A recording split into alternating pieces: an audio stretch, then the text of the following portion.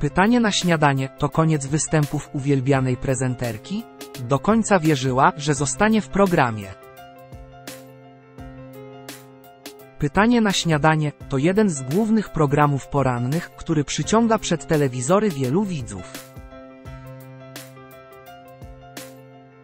Ostatnich latach fani formatu mieli okazję oglądać lubianych gospodarzy telewizyjnej śniadaniówki, jednak ostatnio dużo mówi się o tym, że część z nich będzie musiała pożegnać się z pracą.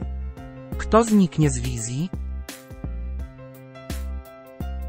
Ogromne zmiany w TVP oraz w pytaniu na śniadanie. Pytanie na śniadanie w telewizji polskiej emitowane jest od ponad 20 lat. Mimo upływu czasu nieustannie cieszy się dużą popularnością oraz oglądalnością. Poruszane są w nim różnorakie tematy, jednakowo te zabawne i na pozór błahe, tak samo jak te poważne i chwytające za serce. Odkąd TVP zaczęło przechodzić zmiany, zaczęto zastanawiać się nad przyszłością pytania na śniadanie. Do tych rozważań zdecydowanie przyczyniły się rewolucje, jakie można było dostrzec u publicznego nadawcy. W drugiej połowie grudnia przestało nadawać TVP Info, a następnie zniknęli prezenterzy, którzy do tej pory prowadzili wiadomości. Będą zmiany w pytaniu na śniadanie?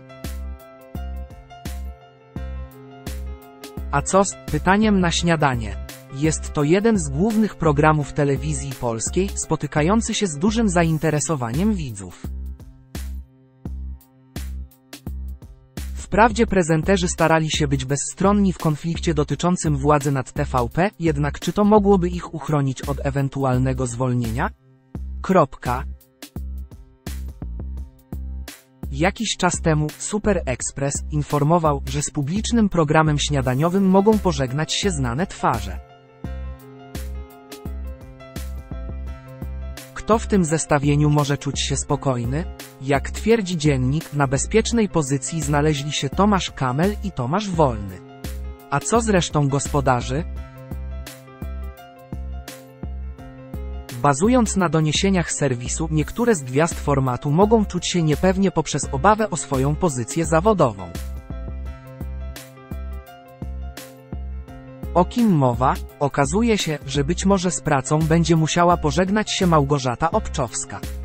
Co ciekawe, jej mąż, który również był związany z TVP, już tam nie pracuje. Obczowska była twarzą TVP Info.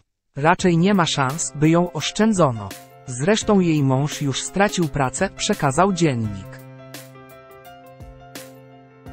To nie jest jednak koniec tych jakże zaskakujących doniesień. Super Express twierdzi, że widmo bezrobocia unosi się także nad inną gospodynią pytania na śniadanie, a mianowicie Idą Nowakowską. Jej ewentualne zwolnienie ma być argumentowanym poglądami prezenterki, które mają być niepasujące do nowej telewizji polskiej. Co z przyszłością Anny Popek? Anna Popek jest jedną z gwiazd telewizji polskiej, współpracuje z nią już od ponad 20 lat. Od lat spełnia się jako prezenterka, a widzowie mieli okazję oglądać ją w pytaniu na śniadanie, gdzie wraz z Robertem Rozmusem zabawiała widzów. Zauważyli oni jednak, że od 19 grudnia nie pojawiła się na antenie. Co mogło być tego przyczyną? Kiedy się zmieniała władza w 2016 roku, byłam jedną z pierwszych osób, które musiały odejść z pytania na śniadanie.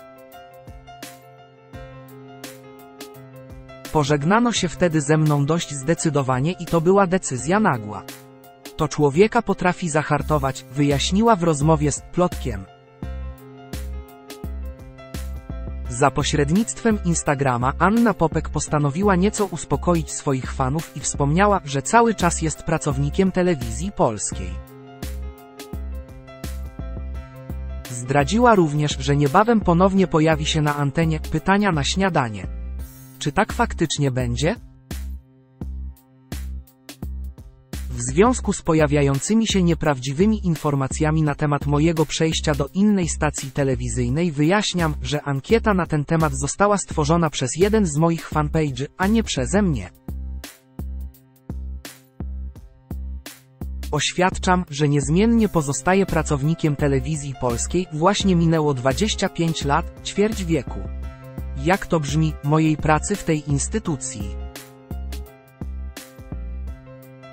Rozumiem, że moi fani chcieliby mnie jak najczęściej oglądać.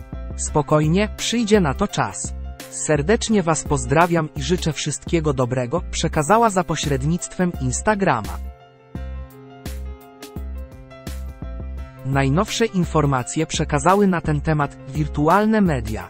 Z ich nieoficjalnych doniesień wynika, że Anna Popek nie wróci już do pytania na śniadanie.